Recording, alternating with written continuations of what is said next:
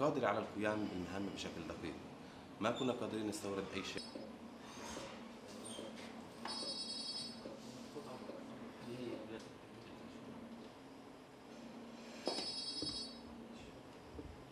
كان توجه رئيس الجامعة أنه آه، نلبي حاجة القطاع الصحي الفلسطيني بهذه الأجهزة.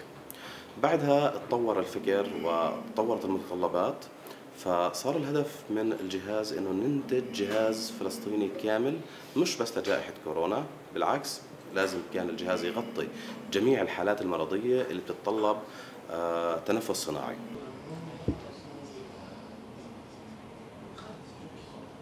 كان الهدف من الموضوع إنه آه، نعمل أنظمة مطابقة للمواصفات العالمية. وفي المرحلة الأخيرة اللي إحنا وصلنا لها حاليا صار المتطلب إنه نتفوق على هاي الأجهزة بمواصفات وبوظائف جديدة غير موجودة في هاي الأجهزة. اعتمدنا بهاي الوظائف الجديدة على حاجة السوق الفلسطيني اولا والاحتياج العالمي ثانيا. فعلى سبيل المثال في جائحة كورونا كانوا الأطباء يواجهوا مشاكل من الوصول لسرير المريض. فأجت الفكرة إنه إحنا نوفر لهم طريقة إنهم يشوفوا الإنذارات ويشوفوا إنه في عندنا مشكلة في الجهاز بدون ما الطبيب يضطر يفوت لسرير المصاب في كورونا.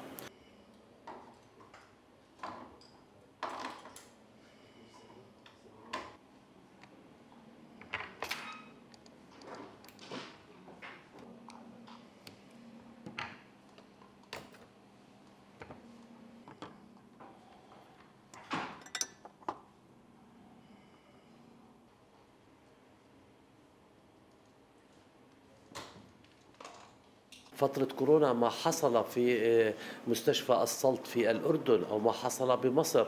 عندما انخفض الأكسجين وانقطع الأكسجين والجهاز آه، لم يعالج هذه الحالة آه، مات مرضى.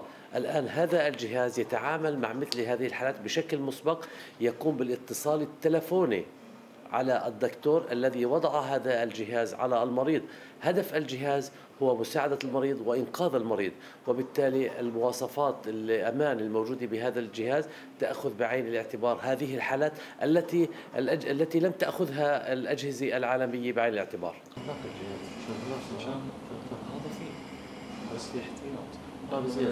أنا فخور جدا طبعا وشعرت بأنه نستطيع أن نقدم شيء للبشرية. أن نقدم شيء للإنسانية آه، شيء إنساني نساعد به الآخرين. هذا الابتكار جاء نتيجة شعورنا بحاجة الإنس... بحاجة البشرية للمساعدة في ظل جائحة كورونا. الآن مستشفياتنا الفلسطينية تستطيع أن تتزود بهذه الأجهزة وأيضا نستطيع أن نقدم خدمة للعالم الخارجي لأي دولة تحتاج. نستطيع أن نقدم بسعر مقبول بتكنولوجيا عالية جدا بمواصفات عالية جدا.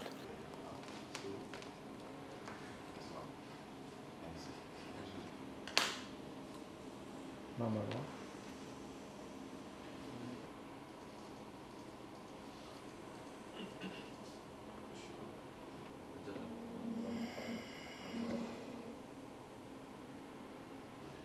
Bu da dışarıya masaya takılacak. Evet.